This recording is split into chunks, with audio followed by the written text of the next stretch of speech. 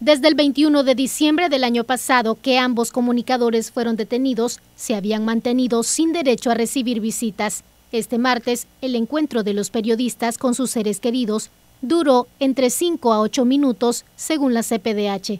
La primera en ingresar al chipote fue la esposa de Miguel Mora, Verónica Chávez. Verónica ha externado que pudo ver a Miguel, efectivamente. Dice que él está fuerte,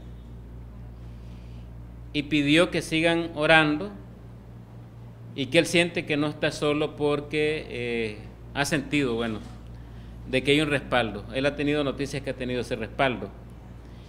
Y el último punto que él mencionó es que están cumpliendo con sus derechos. En el caso de la periodista Lucía Pineda Ubau, también se hizo presente su primo Noé Ubau, con quien la comunicadora envió un mensaje a los nicaragüenses.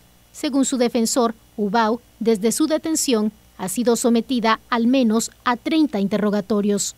Dice el mensaje de Lucía Pineda Ubau para el pueblo de Nicaragua.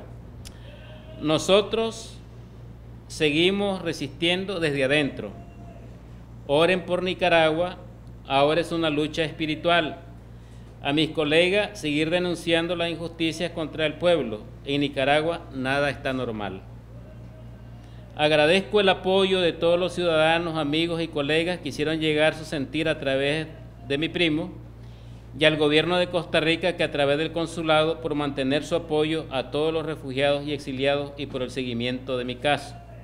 A mis colegas periodistas costarricenses de los medios televisivos Represel y Teletica, Repretel y Teletica y la radio.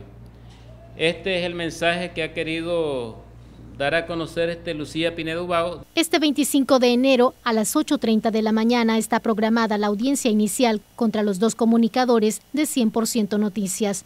Durante la visita, Mora manifestó a su esposa que no había sido golpeado, a pesar que el día de la audiencia preliminar circularon fotos en las que se le ve un golpe en el rostro, situación que intentará verificar su abogado defensor Julio Montenegro en la próxima audiencia. Walquiria Chavarría, Bolsa TV.